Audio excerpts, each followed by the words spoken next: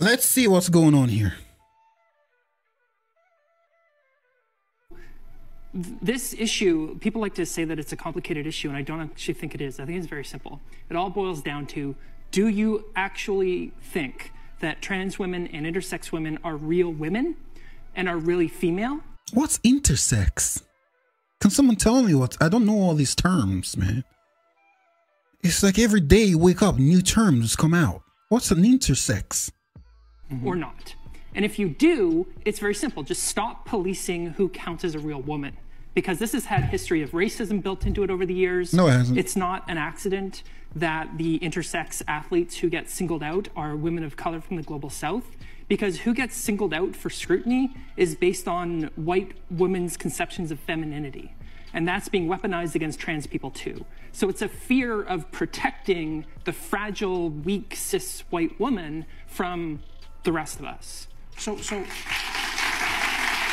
there are many elements to what you. People are actually applauding this. just she's just talking a whole bunch of nonsense.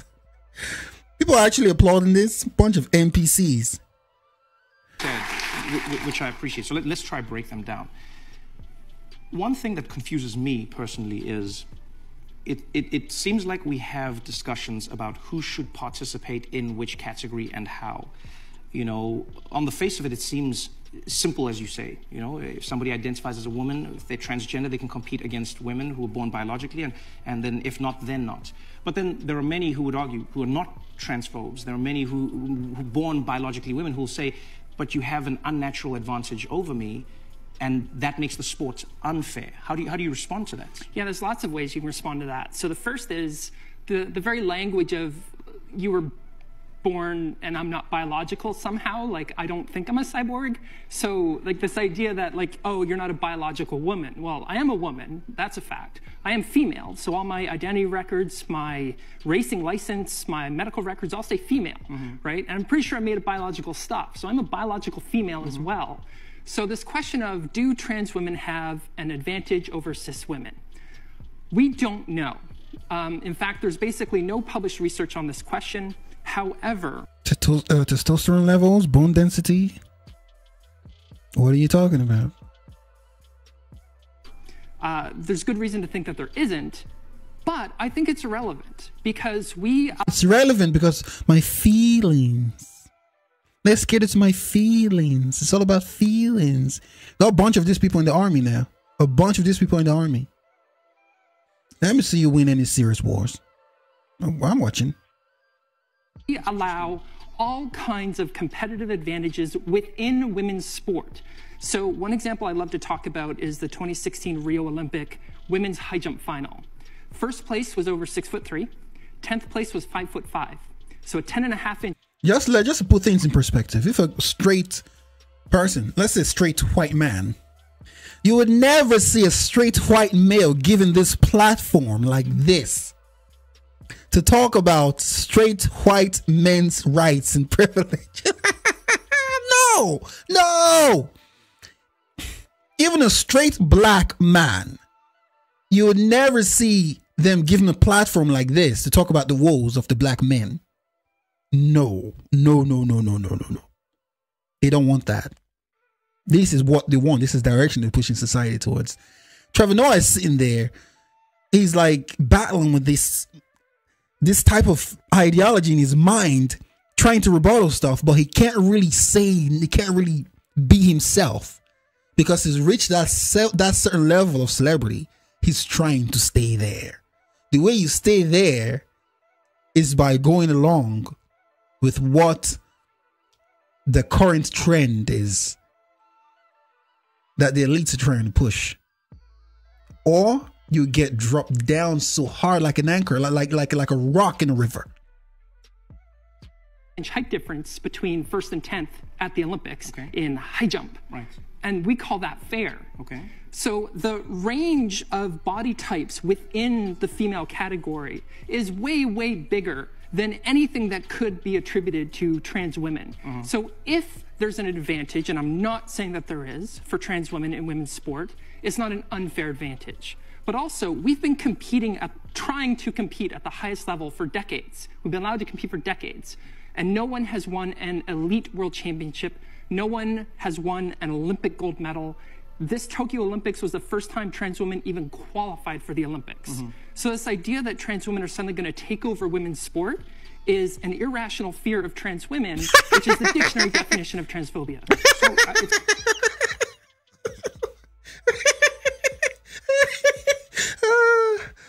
uh, but they are taking over women's sports. You never get it the other way around. You never see trans men and women that are men dressed up. I don't know, women that pretend to be men. You are not going to see them in like the UFC trying to fight see a biological woman in the UFC or in a 100 meter race or in any men's sport, in basketball or whatever, you, would you see them over there trying to compete with real biological men? Near. But of course, you're going to have men trying to compete in women's sports because I know they're going to dominate. Trying to go and break all their records, which they are. Very dangerous. Very, very, very dangerous. Because you have these muscular men in pink leggings playing rugby with women now and just smashing through them, causing permanent damage. It's interesting that you say that, you know, because. Stop clapping for nonsense, man. It's interesting that you say that because I think if, if I were to push back, or you know, even not even playing devil's advocates, uh, there, were, there are a few things that could be argued. Number one, you could argue that although the trans woman who competed in the Olympics didn't dominate, she did beat a field of women who might have qualified for that position, right? Um, secondly, when you talk about the height differences, I, I agree with this completely. But there, there are many who would argue that we exist in a state where a lot of the surgeries are new, a lot of the technology, just the technology is new. Transgenderism is not new. We know it throughout time, we've seen it throughout history. But there are many who would say, how do we ensure that we are creating some sort of standard? And the reason, the reason we talk to this is, you know, we talk about this is it's the reason they have to regulate, uh, regulate uh, performance enhancing drugs. For instance, what is fair? What can you drink? What can you not drink? What can you consume? What can you not consume? Uh, the only people that suffer all this are the biological women. They're the ones that's at a huge disadvantage.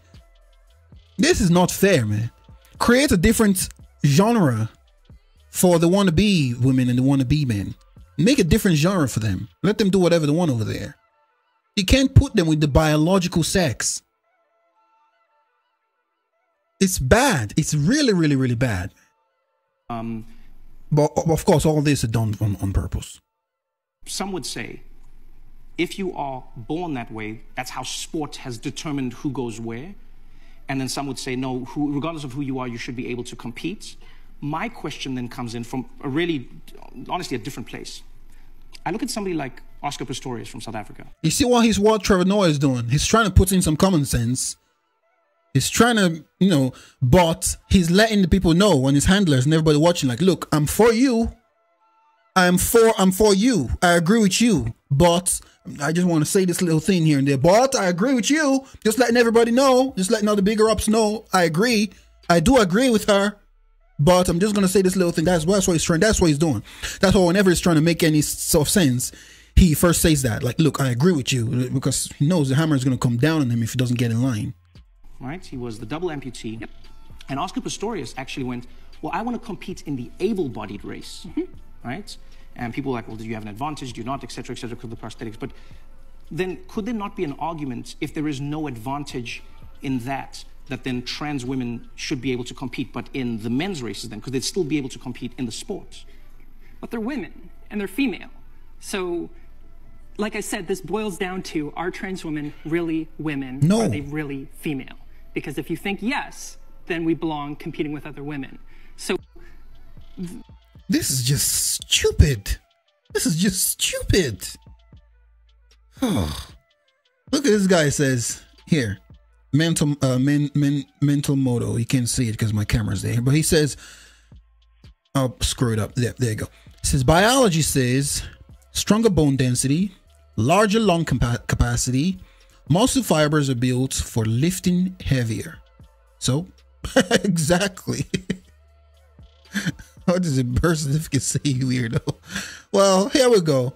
This, this, this, this is this is the whole thing. Getting everyone fighting. This is the whole. This is the end result here that the powers of be want. Get everyone, the comment section, and everyone in real life arguing and fighting over nonsense. There's always been transgenders in history. There's always been transgender. There's vast, vast, vast minority to the level didn't even matter. It was that tiny. It didn't cause this huge ruckus in the community, but now they're putting them in the limelight because it's going to cause, you know, little arguments here and there, a little fight, little tribalism here and there, because that's what they're trying to create. They're trying to create tribalism. It's simple. What they did in the African world is what they're doing in the Western world. What they did in the African world, I'll just tell you real quick before I go. What they did in the African world, right? And that's the same people, the same bloodlines, the same people that are doing this in the Western world now. In order to rule over people effectively, merge them all together. So the first thing they did, a different, they go to a certain area in Africa and they look for this country, this country, that nation, that nation, that nation, that nation, and they merge them all together, make them one country. People that were separated because of tribalism and all that, they separated themselves and were living fine, even working amongst themselves, doing trades with this culture and that culture. Everything was fine. Then when the Brits came, they merged them all together because it's easier for them to rule over them when you merge them all together like that because then their differences are that close. They're going to start fighting over it. They're going to start fighting over nonsense like territory and language and this and that. When they're fighting over each other, fighting over nonsense, then it's easier for you to rule over them, put your stooges, and rule over them, and take the loot. It's easy. This is this is classic divide and rule. That's what they're doing. The African world has been conquered like still being conquered till today. It's a proven method that works over that works from time and time since time immemorial. It's, it's worked.